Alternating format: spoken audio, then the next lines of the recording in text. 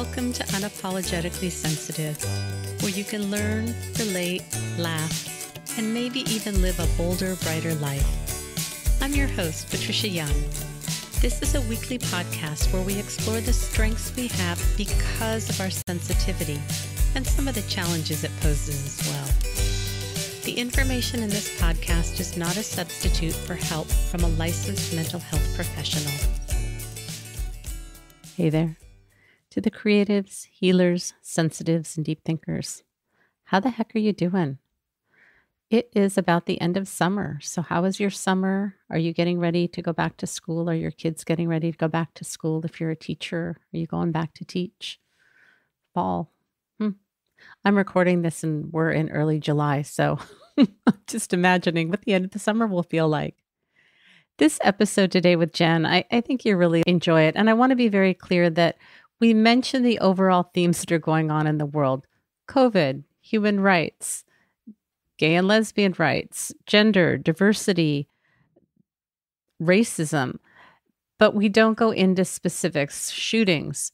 It's a very heavy, hard time. So I want to be very clear what you're going to get in this episode. But we talk about, I mean, we start out by me talking about I'm feeling tired, and it makes sense that I'm tired, and lots of people are tired right now. And what are things that we can do to manage? What are the things that we tell ourselves? How being in community during hard times can help, how being a therapist has changed a lot, talking about the patriarchy. But even though we have some very oppressive things going on, they don't get to take away our joy and our sense of connecting, and things can deeply change. Jen offers some books that are in the show notes if you're interested in them. We talk about honoring everything the simplicity, the health, healing, wholeness, which means honoring depression and feeling joy, pleasure, and connection. So I think that this is a really helpful episode for what's going on. Like I said, we don't go into specifics about some of the things that are hard right now because it's a really heavy time. But I think we need to be addressing this and talking about how do we manage and what do you do when things are hard and we give some concrete examples of ways that you can soothe and connect. I hope you find it helpful. And now, on to the show. Hey, Jen, how are you? Hi, Patricia. I'm in there. How are you? Well, it's funny. We talked because you called me before we recorded because you were just kind of screaming in to get to record. You said, How are you? like, I'm tired, but I love my editor. My editor said, I edited out that you said you were tired, and I say I'm tired a lot, and I am tired. I am seeing my doctor about it, but like I exercised this morning and I'm tired, and lots of big things are going on in the world, and I'm tired. And you and I talked about coming up with another way of saying tired, and like I think a lot of us are tired, and can we normalize being tired? Yes. Yeah, I think I think I said I don't, I'm not sure we're meant to live like this, right? Yeah, we're not. I know I've been I've been prioritizing my sleep a lot lately, mm-hmm. which helps a little, but and, and I do think that physical tired is a part of it. I'm a total sleep nerd. Mm-hmm. like I love kind of studying what happens and when we're unconscious, and I'm fascinated with that whole process of losing and then gaining consciousness like that. But there's a different kind of tired too, right? There's like this kind of soul weary, tired, especially with just everything that's going on. Yeah. Yeah. I mean, I've been talking about with clients, and you look at COVID, we're what, two and a half years in with this ongoing uncertainty that we thought would be endemic now. We're not. At least where I'm at, we're in the highest risk level that there is. We're seeing more variants.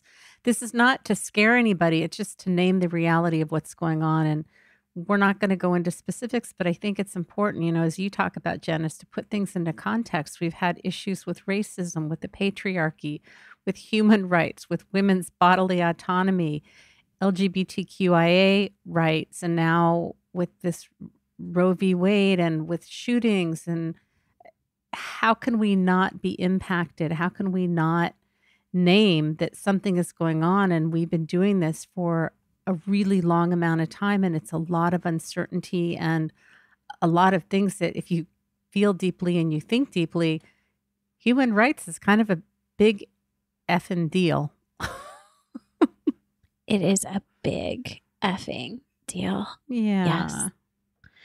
Yep, in the midst of our really super busy lives. And I wonder how much that's also just a part of it. Like, we're so, so busy and distracted. Who has a lot of time to show up? And even how do we show up when these things are happening around us? Right. Mm. And what do we do to cope? What works? I I'll be honest with you, a lot of the times for me I compartmentalize as things have continued to get worse and worse and worse. I, I don't watch the news. I really try and stay away with what's going on because it hurts my heart. Obviously, if I have clients that want to talk about current events, I make room for that. And it hurts my heart. It's just hard. And I have people that I'm talking to and clients that they can go to work and then they come home and they cry because they just, you know, they need to put it in a box so they can function. But the heaviness of things that are going on and whatever you need to do to honor your feelings and take care of yourself, I totally support that. And I think it's going to look different for everybody. I mean, what are you seeing and what are you doing, Jen? I just want to say I'm so glad that we're talking about it. It certainly is a is a heavy topic, but I think being in community together around it is really important. Mm-hmm. Similar to what you're saying, you know, I sobbed that Friday night, right? And when Roe v. Wade was overturned, and you know, I'm horrified by the the shootings. I had a client who was at apparently there was a, sh- at least a threat of a shooting in Philadelphia. Mm-hmm. And so, you know, friends who were there, a client who was there, and it's scary. So, holding space for all of these things, right? And now for years now, holding space for the pandemic. I mean, being a therapist has changed a lot. Mm-hmm. But what am I doing, right? And how how am I coping? I don't know. It's funny. I think sometimes as you get perspective on things, but right now I feel like I'm just in it. I know my daughter is really into all sorts of activism. She's my little social justice warrior. And so I'm also being in this with my newly minted 10 year old daughter to see through her eyes, which I don't know, we both spent that following Saturday and maybe even the Sunday pretty, pretty down. I have this, I have this book.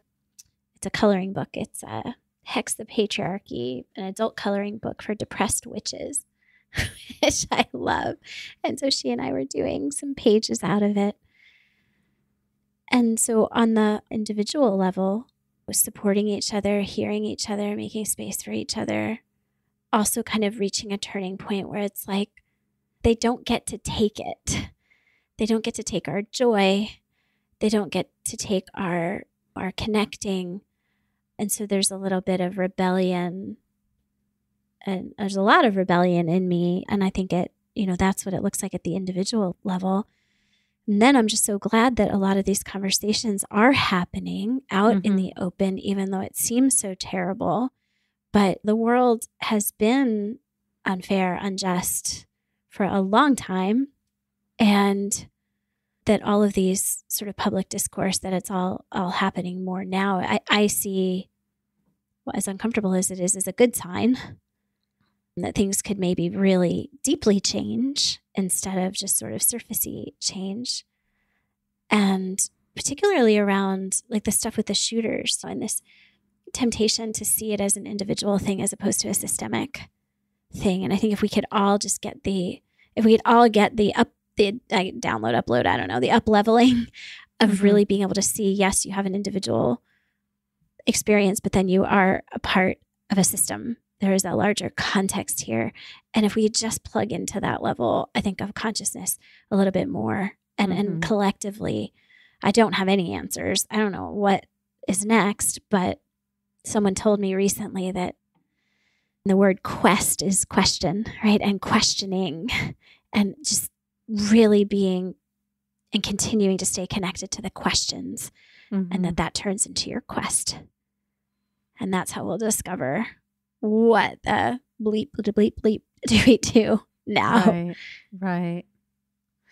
One of the things that I'm seeing is I think years ago when you know Supreme Court thought that they could take away people's rights in all different types of forms, they had power over groups of marginalized people. And what's changed and what we've seen during the pandemic is people are tired of this and people are really mobilizing and coming together. I mean, look at the people that came out to vote in this last election because people are starting to get that one vote does make a difference. And the protesting and all of the ways that people are looking at where these politicians, where these companies investing their money, and do we want to support them? And do we want to really kind of vote with our dollars? That there are many more ways that people are having power including filing complaints with the UN because the UN is not happy about what's going on. Other countries are coming forward and saying, How can we support the US? Other countries are welcoming US citizens to move there to become citizens. I mean, it's become very apparent that this is not okay. So, this is not the same as trying to strip away rights from people that have no resources and can't really come together to make change. And I think that the uprising that we've been seeing and will continue to see I'm hoping is going to make a difference. Yeah, me too. Me too. I'm really just staying curious. You know, I know that a lot of people that I see, what I'm seeing in my practice, HSPs do tend to be really, really conscientious, mm-hmm. really in tune to these things, and deeply affected mm-hmm. by it on a real minute to minute, day to day level. And there's a great book right now, Emily Nagoski's book, Burnout, mm-hmm. where she talks a lot about these stressors. And many of them, for many, many years, have been unrelenting. So, the difference between the stressor and then stress in your body mm-hmm. and how to take care of them differently, like how to separate them. Mm-hmm. I like to just stay curious what could happen. Hum- Again, starting with our premise, like human life has always been a struggle. Mm-hmm. you know, these are challenging times. From a parenting perspective, I've been saying raising dragon slayers in the time of dragons. You know, I'm so happy not to have parented the power out of my kids. Mm-hmm. So hopefully they will be able to feel empowered as they become adults. Sure. In ways that maybe I didn't and don't still. If I'm, yeah. you know, really being honest, or I always have to kind of grapple with that sense of of coming together in community, of separating the stressor from the stress in your body, being staying curious, like what's going to happen next? Like there are lots of good people out there, like mm-hmm. mobilizing, like you're saying, that quest, the questioning, instead of the foreclosure, the gloom and doom, it's all over. I was told there was going to be a handbasket at this point, you know, uh, mm-hmm. that we're all going, we're all going down, really reach out to each other mm-hmm. because we will have those moments of deep, deep despair. Mm-hmm. And we have to create space for each other to be in those moments. And hopefully, in that very creating space, we don't stay in those yeah. moments. Yeah. We honor them without staying in them. Yeah. I love that. I love that. And looking to leaders that can talk about what's going on in a way that feels nurturing and sacred and can give a sense of what the next steps are. I know that Glennon Doyle did a family meeting on her podcast, We Can Do Hard Things. Just finding things that are going to help keep us grounded. I also know personally, I've been exercising almost every day, which is not typical for me, but there's this water fitness class that I go to twice a week. I paddle two times a week, I do skills practice, and that extra physical outlet even you know even though i'm tired it's a good tired. And i'd rather be good tired than agitated tired. And my body needs some relief i'm privileged but i'll tell you having the puppy really helps just because there's fun and there's joy and there's spontaneity. So if there are ways that you can connect with gardening or walking barefoot where your feet are in the dirt or the sand or the water or things that we can do that are sensory cooking taking baths massages putting lotion on there are all kinds of ways that we can really try and have just small moments of pleasure. And you don't have to be in a financial situation to be able to put some lotion on or enjoy having mint in your tea or you know whatever little things that there are that i think that it's important to kind of cling to those things and the more we can stick with the routines and the things that bring us comfort and safety. Watching shows that you've watched before is really relaxing for the brain. I just read an article about that. that it's predictable, it allows your brain to relax. And sometimes we've talked about chewing gum for the mind. So there's not any anticipatory drama or fear that you can go watch reruns of your favorite show just to bring some comfort and to allow yourself to relax. Yes, I love all of those ideas that that you just gave and I think that there's something about returning to prioritizing some of that simplicity that may actually just like save us as a whole because mm-hmm. you know if, you, if we look at like the real like the looming climate change and the problems that we're having it's kind of like the the things we do to save ourselves might be what saves all of us right? And, right and there's something about that return to simplicity and if one of the definitions of health and healing that i really like is wholeness right so nothing gets excluded so we don't exclude our despair, or depression. Like we honor that. Then we don't also don't exclude our pleasure, joy, connection. So that, you know, health and healing is wholeness. And and you know, we have these lives to live, right? We still have to feed ourselves. We still have to go through our daily motions. And if we want to add to that, yeah, being rested and being supported and having had a little bit of pleasure is going to help, right? Help us what which, with whatever's next, whatever that is. And that's mm-hmm. again my quest. I'm still trying to figure out what that is. Yeah. But oh, honoring the question, holding the question, doing the quest. Yeah. And like you said, that wholeness is embracing all of it the stuff that's difficult and the stuff that is joyful, that that's really what it's about. And it's not about getting out of it and trying to find a way to stay out of it. It's about being present to all of it. Yeah. Yeah. I just had some really delightful moments with my son just a few minutes ago, you know, mm-hmm. and just something like really being present for a hug he's been volunteering this week is his first like volunteer job mm. and he's just ha- and he's mm. working with young children and he's just having a he's uh, you know after spending the first month of the summer at his computer not that there's anything wrong with that but you know as a mom i'm like how many video games is mm-hmm. this kid mm-hmm. gonna play and for how many hours to see him just light up and to be having some new experiences like that so just those yeah they can be simple joys right mm-hmm. they can mm-hmm. and and just to that's where my rebellious, like, they don't get to steal the whole of my life. Mm-hmm. I still get to connect.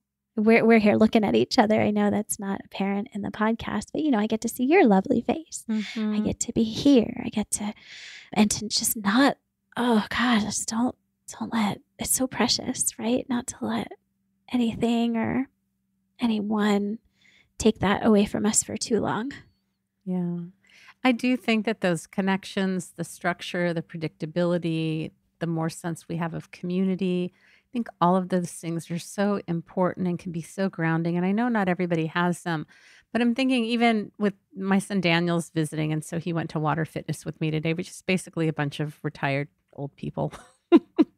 I love he got there and he got in the pool and he's he's like, Does anybody here work? like, well, there are some younger people, but you know, this other woman said, Yeah, most of us are retired. And then he's like, Was it okay? I said that. Aw. Yeah. But you know, it's nice having routine that on Tuesdays and Thursdays I go to water fitness and I have friends there and people that I see there and just falling into that routine. And as I was waiting for Daniel to get up this morning, I was like that. Oh, I don't want to go. I'm tired. I've been exercising a lot, but I love the routine of it and I feel so good afterwards. And I just think that there is something to be said for having places where we connect and we have community. And it's not that I go and I share anything deep or it's a place where I get a lot of deep emotional support. I, I take for granted you and I connecting on polo and the other friends that I have where we just stay in touch with each other and how grounding that is. So, you know, if you're someone that has those little connections, even if it's at work or you ride the bus and you see the bus driver every day, or you see your mail carrier or the person at the checkout stand, like those are all places where we can have just a few minute exchange of sharing joy and connection. Are there places where you can get that without it having to turn into anything that's overwhelming? But I think where we can find that connection is so important. Yes and it can be brief encounters, just just interacting with, you know, other beings in your environment. Mm-hmm. And sometimes those are people. Sometimes they're just, you know, other beings too, animals in your yard, or just just trying to feel connected that you're a part of something, and you mm-hmm. are. Like you can't not be, right? We're not in nature. We are nature.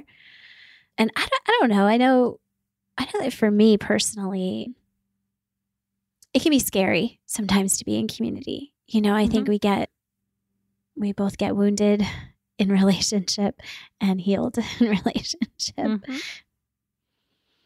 And so I know that what's helped me is being able to make some space for that, have again that one person to talk to mm-hmm. about some of those things. But you only need that in one place. And I think sometimes we don't feel like if we don't have it everywhere, we don't have it anywhere. Mm-hmm. If it's a if it's a therapist or a coach or just a, a dear friend, I, I just want to, I guess, voice that it can be scary to be in community for some mm-hmm. of us especially if we've been wounded in community or sure. excluded from community or so I don't know. That's kind of interesting to me. Yeah. Well, I often what I see in groups, not necessarily the groups that I run, but you know, I'm on social media a lot and I see HSPs talking about having a hard time finding where they fit and where they connect and where they belong. And there's often so much wounding that it's hard to figure out how do you find that connection with people that have done enough healing so that it ends up being a safe place and for people to have done their own healing so that they can determine whether this is a healthy space or not and i think that that's a challenge but i love what you said about like all it takes is one person one person who sees you gets you knows you and if you don't have somebody you know look into counseling or coaching or they have peer counseling I think, especially right now, just being seen. And I always forget, you know, I'm a very verbal processor. Are you, Jen? You are too. Mm-hmm. Oh, yeah. Yeah. And uh, I think that when we don't realize it, sometimes we just need to talk things out. And if you don't have somebody to just talk things over with, I, am working on this sewing project, and I had to say to my husband, like, can you just listen to me talk for a second? Like, I can't figure, like, this is what I'm trying to do. This is what I think needs to be done, but I don't know about this. Just talking it through gives me that clarity. And if you're a verbal processor and you don't have that, that can be really hard because we stay stuck in our heads. I mean, this is a, little bit of a diversion, but it's the same thing. A friend of mine said to me this week, You're really athletic. And my thought was, No, I'm not. I have this vision in my head of, um, you know, the fat, overweight kid, and I'm not athletic. And we talked about it a little bit. And even today with Daniel coming to the water fitness class, they said, like, part of me wants you to be like really proud. Look at how strong I am. Cause the class was hard for him. But I'm like, I want you to look at me and see your mom as being like a really strong, fit person. He's like, you do your dope, you paddle, you go to class, you do all these things. And how this ties back into what we're talking about is I think that we do have these ways that we connect, we fit in, we belong, and we have these wounded parts that still want to dominate the narrative. So in my narrative, you know, I'm I'm a fat kid that, you know, can't be on team sports and nobody wants me, but the reality is I paddle 15 miles a week and I take these water fitness classes and I'm learning to roll my kayak and I'm upside down in the water doing really scary things and I do it consistently. And all it takes is for my mind to take over and me go back in that narrative where I feel fat and don't want to go exercise and paddling is stupid. You know, you've heard all of this this is not unique to me. And we have this around connection, around fitting in, around belonging, about feeling like we're too much, whatever that wounding is. We can be showing up in our lives in very powerful ways. And those gremlin voices can still get us when we get home from work or when we don't go for that walk or we don't go to that activity. I mean, I see you nodding your head, so I want to give you a chance to share, Jen. Oh my gosh, I'm just like feeling everything that you're saying and then I had like 50 million thoughts. But the last one there that I was having was again, we are part of a context, you know, and we live in a society where some parts of it directly benefit from us not feeling good about ourselves. And that is something that we kind of all grow up with the perfectionism, the, you know, and there's so much to unpack there, right? I love that, like, Lizzo's new show where it, it's just challenging all of this like fat phobia and what the diversity of body shapes and sizes and what bodies, which bodies can feel what way. And i mean even the gender stuff like we assign this gender at birth and and what comes with that is all of these personality traits and things you're supposed to do or like or not like or you know how you're supposed to be and just present in the world. And i think all of those types of structures are breaking down right now. And thank god right? Think that they are. They need to. If you look in your life there are those intersections for all of us, you know, mm-hmm. and if mm-hmm. we can quest and question instead of going with just what we've sort of always assumed to be true, a new paradigm can emerge. Mm-hmm. And we are that new paradigm. Right. Like we have to embody it. Again, that we we're not in nature, we are nature. Like that has we're living it like right now, you know? That and you are dope. you are. We sort of adjust to, I don't know, like we lose, we do lose this perspective on ourselves and we do need each other. We are wired to be social. I'm reading this book, Lost Connections, right mm-hmm. now, and it's really looking at one of the sources of a lot of our psychological distress right now is how disconnected we are from each other. And decontextualized. We're not in our contexts anymore. And right. I think we're all, I know we're all really suffering because of it. And then we can reclaim it. And we do that in these small ways, right? By smiling at the mailman, by reaching out, by not hiding behind layers of professional veneer, right? Of being able to show up and say, hey, it sucks. This is hard. Mm-hmm. And just being real and not fronting anymore. You know, how much of our last of our histories or how, how have we I know for me personally, you know, I was certainly trained to show up in a certain way and mm-hmm. not make anybody uncomfortable. And there were certain things that were safe and a lot of things that weren't stepping out and, and you have to kind of leave the shore to do some yeah. exploring and adventuring and questing. And so much of that is about the patriarchy, about all these rigid rules about what's professional and how we should show up and, you know, be polite and be kind and smile and don't make waves and don't make feel people feel uncomfortable. I just saw Sarah Bueno, who's been on the podcast. I saw one of her reels on Instagram where she was wearing sandals to work and saying, Can this be professional? And in light of what's going on, her clients are going to get the best of, of her regardless of her footwear. And I think COVID has really, at least for me, I hardly wear makeup anymore. I am almost always in shorts. I don't have shoes on. I, I work virtually from home and it's really kind of stripped everything down. My son just wor- started working for this company. They can't wear hats. They can't have visible tattoos. They can't have colored hair. I don't understand that. And what I want in my life is authenticity. I want real human, messy, vulnerable authenticity with mistakes and imperfection that's where it's at. That's comfortable. I don't want that perfect veneer. And I don't know what all this professionalism mm-hmm, stuff is. yeah. I, I, see it through the really a white supremacy mm-hmm. lens, right? Like here is, and, and, and it, it pervades everything. It pervades everything. Mm-hmm. And so here's your whatever the typical is, right? Whatever, here's mm-hmm. what or the you know the supremacy. Here's the representation. You don't wear hats. You don't have tattoos. You don't have colored hair. You don't have curly hair. You don't you know and then my initial act of rebellion was letting my hair go gray and like letting it be. It's crazy curly fun. Mm-hmm. you know even now mess was the word right? Because yeah. i'm you know and, and so reclaiming messy as this glorious thing as opposed to you know oh you're such a mess you know and we are, we are trained.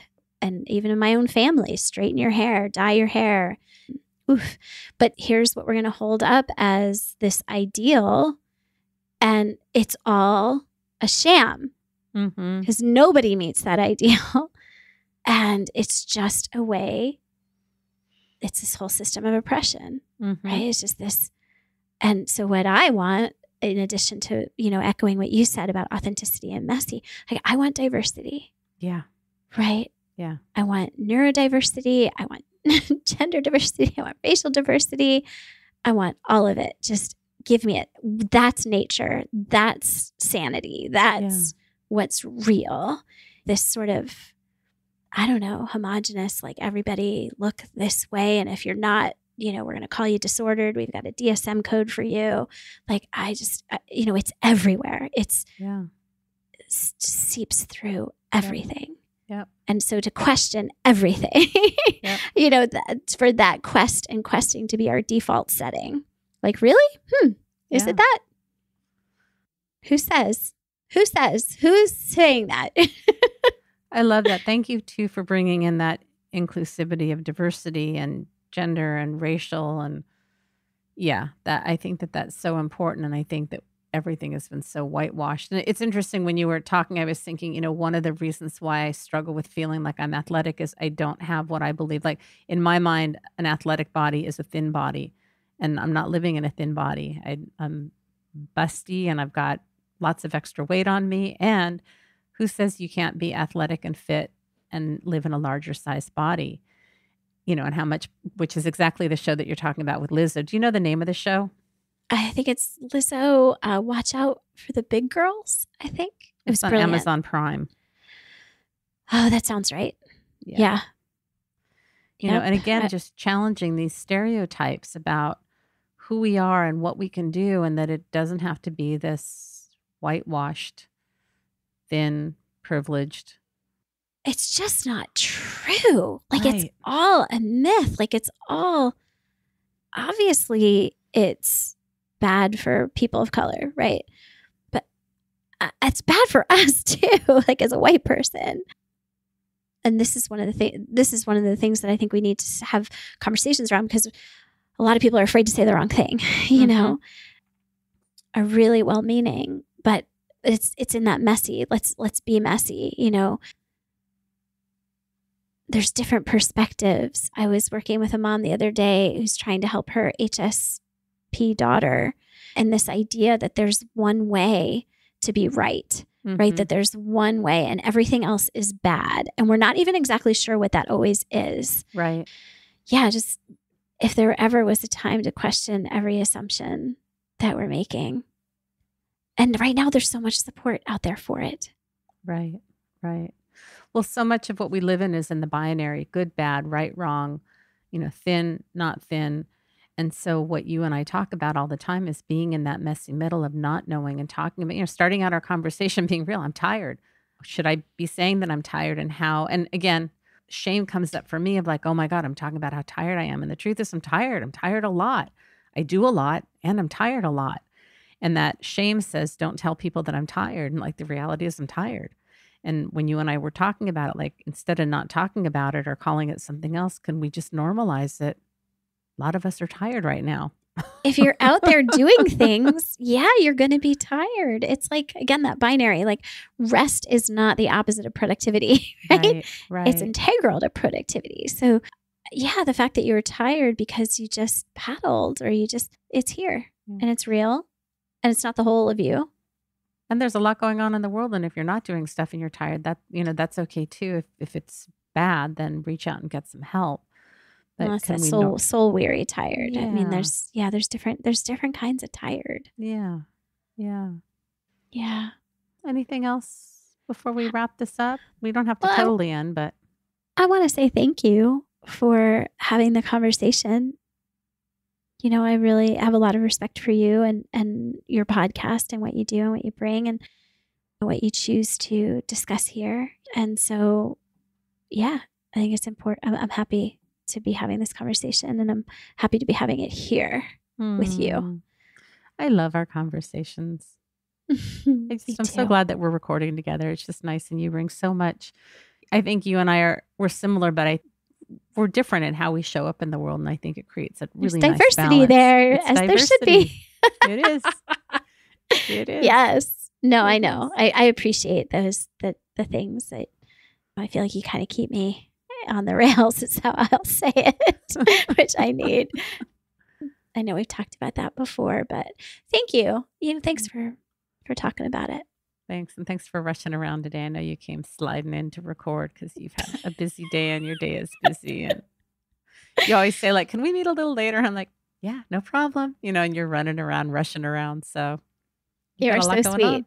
And I just crack up because, you know, of our origin story with the mm-hmm. being late. Because what was I today? I had asked for 3.35 knowing that I was going to be late. And then, of course, get here, what, at 3.40? ah, and, and so thank you for your graciousness and yeah yeah, understanding and yeah, and I yeah, have- if I didn't slide in, I wouldn't be here. I, it's just like this is the only way I come right now. There's yeah. no other way. and those things do not rub me the wrong way. You know, if you think back, like you said, to our origin story, like if you're going to show up late, I don't know if I can work with you, and like it's totally fine. Question everything. Could I work with her? Maybe. I'm so I'm so glad that we worked it through. I mean, we wouldn't be here right now if I hadn't mm. said something if we hadn't worked it through. So, yeah, you know, so for those of you that struggle with, you know, wanting things to be predictable or you don't like when people are late or things don't turn out the way that you want, that we can work through those things and often it is about attachment injuries or something other than what it looks like and mm-hmm. I just feel so grateful for the relationship that we have. And if we hadn't worked through that, like we wouldn't be here today. You, the listener, would not be enjoying the conversations that Jen and I have. So that's hope that you can work through these things depending on who it is and if it's the right person and if they hear you. Eh, you know, yeah. we can. And the flip side of that, like if you're the person that's always late or never feels like you have it together or you're always sliding in by the seat of your pants, like maybe just taking the risk and questioning the assumptions you're making about what you can and can't do, whether that's athletic or otherwise, right? Yeah, there's a lot of good stuff here. And I know for me personally, like, yeah, my life would be so much poorer without it. So, yeah. Well, you bring you. a lot of the fun, the lightness, the spontaneity, and I'm very good with the dependable. Let's stick on track. Let's stay on our purpose. Let's stay on topic. And I mean, I feel like your stuff looks more fun than mine does. And there's value to both of them. And it doesn't mean that this is not the only ways that we show up in the world. But for those of you, you know, if you're someone who feels like you always come sliding in, and I have that when I'm not prepared, I feel like, oh, I'm supposed to be prepared. And, you know, I'm not. We all have noise around however we show up. So, however you're showing up is okay. Yeah. There's many, many, many, many good ways to show up. And that one perfect way is the myth. Yep. Yep. Thank you, my dear. Thank you. Thanks for being here, Jen. Have a great day. You too. Bye. Hey again. I'm curious to know how was that? Was that helpful for you to hear? Did you get some good resources? Did it feel comforting? Did it feel overwhelming? I think we need to have these hard conversations, and I really struggle about how much to share. I have very, very, very strong political views, and I've held back, and that may change. Jen and I are very much aligned in our political feelings, our strong feelings about human rights and reproductive rights and just everything that's going on. So we may start talking about that more on the show. But my hope is that you found it helpful. If you need support, please reach out and get support. If you want to reach out to Jen, you can reach out to her at jen at heartfulnessconsulting.com. It's in the show notes.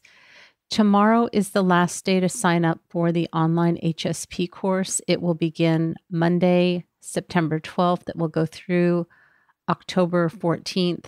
It actually may be extended because I think I'm going to Baja to paddle for two weeks in November, but we will talk about that more as it gets closer. But the start date is September 12th.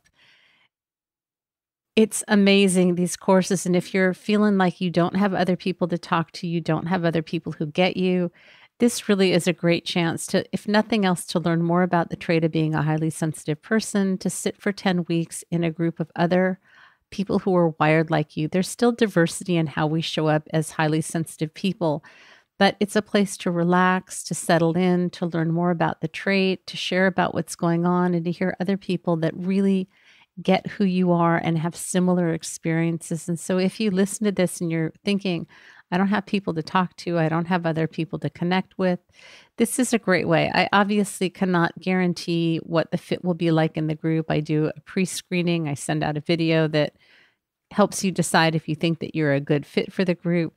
But it really is very powerful. And we talk about perfectionism and boundaries and mindfulness and turning your perceived weaknesses into your strengths and learning how to communicate authentically. There's a lot of modeling in the group it's a really nurturing, supportive environment. And many of the groups have gone on to meet after the course is over. We send out, we, it's just me. I send out weekly emails that have videos that Jen and I made on each of the topics. There sometimes are additional resources if you want to learn about them. I have prompts for each of the topics if you want to do a little bit more exploration. Everything is optional. If you don't want to watch the videos, if you want to have your monitor off, if you want to eat, if you want to get up and go to the bathroom during our online meetings, it really is about you learning to honor what you're needing and showing up in a way that works for you.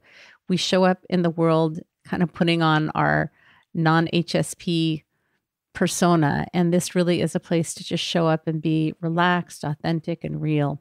So if you're interested, tomorrow is the last day to sign up. You can go to unapologeticallysensitive.com. You can go to the HSP groups page and sign up and register. I hope you're doing well. I just hope you're managing. And if you're not managing and it's hard, I'm sorry. And that's sometimes how it is. If you're really not managing well, please reach out and get support. I really appreciate each and every one of you. Remember, sensitivity is nothing to apologize for, it's our superpower. Have a blessed day.